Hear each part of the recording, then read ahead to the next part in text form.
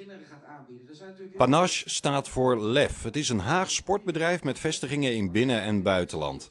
En met zijn tennisacademie is Verkerk sinds dit jaar mede-eigenaar van Panache International. Bovendien worden autocoureur Christian Albers en oud-hockey international Mark Delissen als ambassadeurs van Panache gepresenteerd. Wat we eigenlijk doen is een kinderen van 3 tot 10 jaar, eh, die geven wij eh, bewegingslessen alvast. Eh, omdat je merkt toch als je later in de leeftijd op dit moment kijkt, dat er toch heel veel kinderen, ja, die zitten op de iPads, op de, het is een digitale wereld geworden. En wij willen ze toch eh, laten be- bewegen. Ook is bewezen dat dat goed is voor, eh, voor overgewicht, eh, voor de hersenen. eh. dus ja, wij, wat wij gewoon willen doen is eh, met kinderen al vroeg beginnen met bewegen.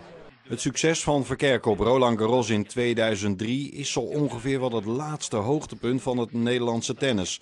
Een zorgelijke ontwikkeling. Ik geloof na mijn generatie is er niet veel meer gekomen. Dus daar maak je inderdaad zorgen over. Alleen dat, dan moet je wel weer van onderaf beginnen. Eh, met het opleiden, kijken naar het individu. Eh, de, de aanpak is gewoon altijd jaren verkeerd geweest. En wat ze bijvoorbeeld gedaan hebben jarenlang is de nummer 1, 2 en 3 tot 12, 1, 2 en 3 tot 14 zaten dan een jong oranje.